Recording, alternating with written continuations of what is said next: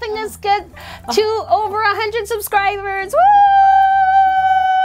Woo!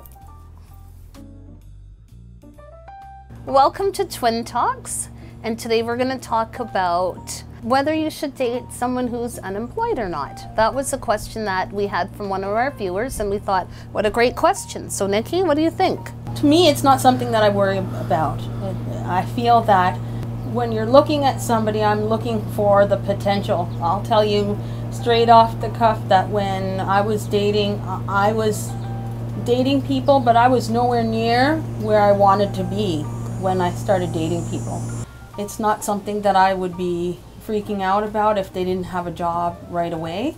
Because uh, I sure as hell didn't have anything when, when I started going out with, with my now husband. I had potential, and I think still, still people need to look at people's potential and look at their work ethic and look at their history.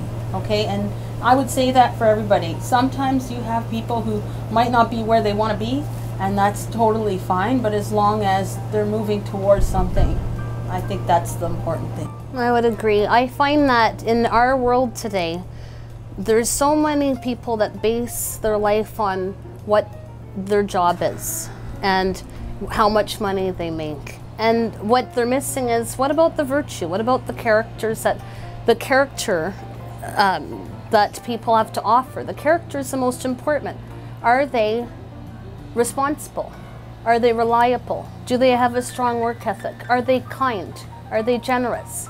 These are the virtues that people should be looking for, not how much money they're, they're making and whether they're employed or unemployed. So I think that when you're unemployed, you should be focusing on yourself. And I see absolutely no reason if they're a good person and they have all the strong virtues of a, of a good dateable person, I don't see why you, you, you can't go out with them on a couple of dates. You might actually make them feel better about themselves. You could help them with their resume, help them get organized. It's not an easy time. I met my husband when I was a student and I was working part-time and he was working full-time and I'm thinking, what if he had judged me by where I was at? I wouldn't have met the man of my dreams, right? And so I think it's important that if you're looking for someone, you can date them.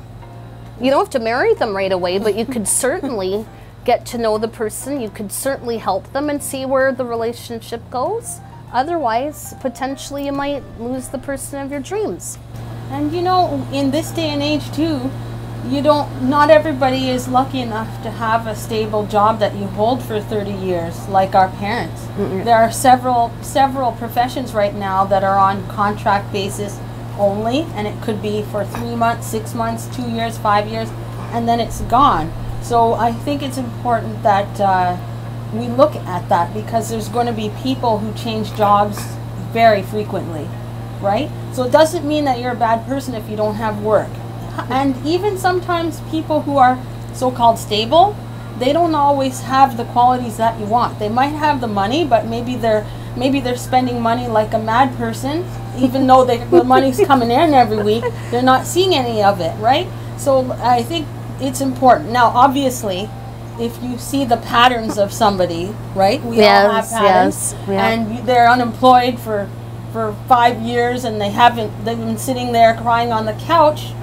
You've got to, you know, think about is that good for that person at that time to bring in a, a date? Yes. Maybe not. That's the thing about life, though. That is the crazy thing about it. You can have everything one day, and then walk in and have nothing the next. And that, what you, but what you do have always is the virtue and, and the, the powers within. We need to support each other and have patience for it because not every not every um, time you're going to be in the perfect space in your life when you meet that person. That's, I totally agree.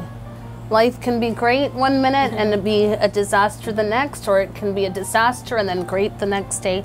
And I think that we just need to be supportive, and we've all been, most of us have been unemployed at some point. It's not an easy time, but I think it's a great time to pull someone and, and, and make them feel better about themselves. And as long as you're striving towards something, then you know what? You'll get to where you want to be at some point. So It's we the- have to mm. believe in that. Otherwise, you'll just be ca- crawled up in a corner in a ball depressed. That's my yeah. true emotion on that. Yeah, and I think that people should be less judgmental and um, help each other out because we've all been there.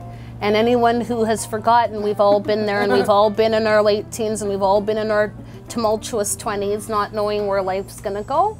And um, And 30s and 40s. yeah, absolutely.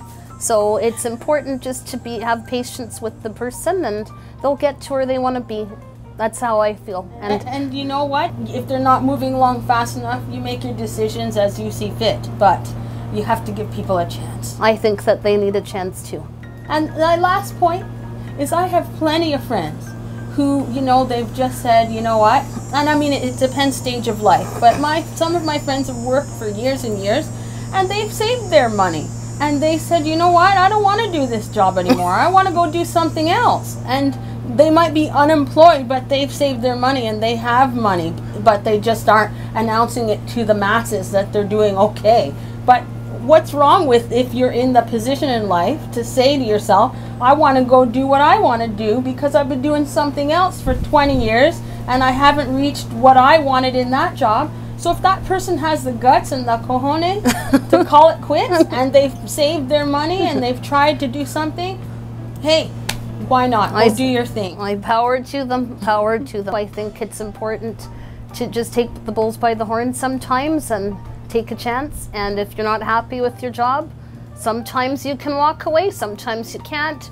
But it's up to you to make that decision. And Not up to others to judge it. yes, and I think we should we should totally value the person rather than their position. Because you are not the position, you are the person that you're created to be by your virtues and your character. Don't forget that. Right on now. Preach, girl. Preach. Follow us on YouTube, Facebook, and Instagram. And don't forget to subscribe on YouTube. See you next time on Twin Talks. Booyah!